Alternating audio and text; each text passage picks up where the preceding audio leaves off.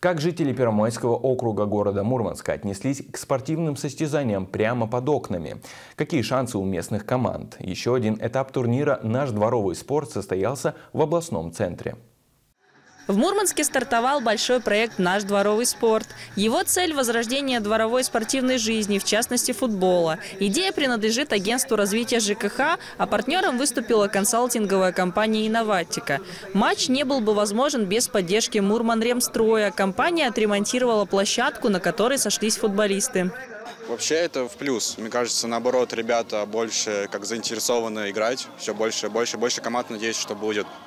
Николай Беляев занимается футболом с 6 лет. За это время успел поиграть в разных командах. Специально для турнира с группой единомышленников собрал новую. Назвали команду «Юная гвардия». Шансы на победу среди четырех сборных участников этого этапа примерно равны, отмечают судьи соревнований. Тут по мастерству-то команды, наверное, все равны. И учитывая, как в дворовом футболе бывает, то есть кому повезет. Тут больше так, потому что тут нельзя сказать, то, что там обстоят, ну, от силы команд будет что-то зависеть. Тут больше, наверное, от удачи, потому что площадки неровные, там отскоки, не отскоки. То есть как это будет? Участникам состязания предстоит 6 матчей для того, чтобы определить лучшую команду. А вот в чем не занимать, так это в поддержке болельщиков. Жители соседних к полю домов активно поддерживают игроков.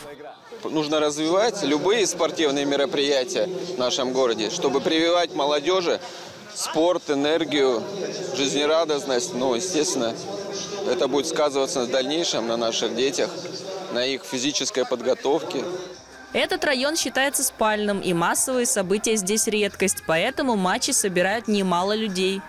Естественно, здесь большое количество детей вокруг, тем более вот этот район Достоевского. То есть э, детей очень много, потому что здесь и школы, и родильный дом. Поэтому здесь надо больше таких мероприятий проводить. По итогам соревнований команда «Юная гвардия» заняла четвертое место. Команда «ЦСМ» взяла бронзу. Серебро и участие в финале досталось команде «Мурманец». Первое место с нелегким стартом заняли студенты из МГТУ. Помимо крафтовых медалей, личный состав из технического университета наградили чеком на 10 тысяч рублей. Следующая игра состоится 3 сентября в Североморске, а финал пройдет 10 сентября в Мурманске. Спорт, сила, парни, от души!